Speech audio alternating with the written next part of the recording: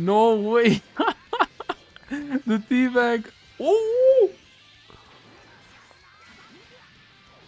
There's no way this man, this man just violated, bro. Oh. Hey,